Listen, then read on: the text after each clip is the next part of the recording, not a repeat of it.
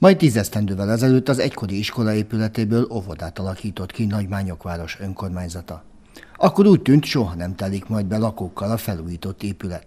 De az élet rácáfort a kétkedőkre, és ma már nyugodtan ki lehet tenni a teltháztáblát az ajtóra. A térség fejlődése magával hozta a gyereklétszám bővülését is. Ez aztán további lépések megtételére késztette a döntéshozókat. Bármilyen hihetetlen megtelt, olyannyira, hogy a bölcsödei csoportot ki kell vennünk az óvodából, és egy önálló bölcsödét hozunk létre, ami itt épül mögöttünk. Úgyhogy ez se volt olyan egyszerű, mint ami ennek látszik, mert megpályáztuk, elindult a beruházás, de az áremelkedés, Covid és sok minden összetevő miatt kivonult a vállalkozó, és most új közbeszerzés, új potfinanszírozási pályázat, stb. stb. De mint látszik, folytatjuk az építkezést, és hát remélhetőleg ősszel be is fejeződik, és egy szép kis bölcsödénk lesz itt az óvoda mellett.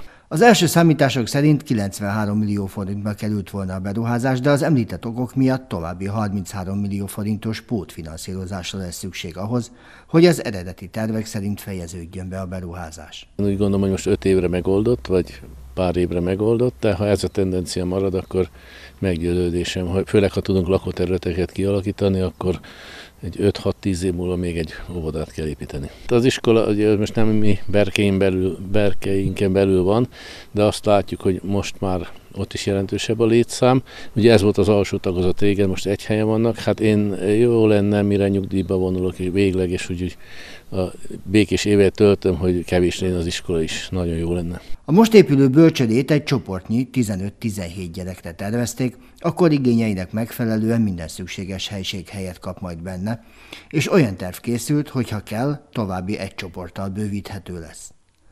A most óvoda épületben működő mini bölcsödében 8 gyerek jár. Ha ez felszabadul, akkor az óvodai kapacitás is megnőhet majd. Annak az utcának a másik végén vagyunk, ahol a bölcsöde épül. Ez Nagymányoknak az új telepi település része, így nevezte el a lakóság.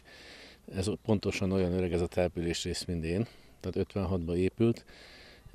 Eternitcsöves vízvezeték, betoncsöves szennyvízvezeték, föl nem újított vízelvezető rendszer. Most ebből már megvalósult a csatornaépítés, ezt lehet mondani, hogy teljesen kész. A eternit csöves hálózat egy részét saját erőből kicserjük, azon a része mindenképpen, ahol most útfelújítás is lesz, és meg fog épülni a árokrendszer újra, ugye 56-ban épült utoljára, mert azt tudni kell, hogy ennek a településrésznek a két sarka között 8 centi szintkülönbség van, tehát csak burkolt árok tudja elvinni a csapadékvizet. Bízom benne, hogy ez őszig minden meg lesz. A nagy rendetlenség és a nyomor az még nagyobb lesz, mint most, hiszen még keresztbe hosszában mindent fölásunk és ha ez mind megvan, addigra bízom, hogy elbí, bízom benne, hogy elbírálják a pályázatunkat, és akkor egy útépítésre fejeznénk be.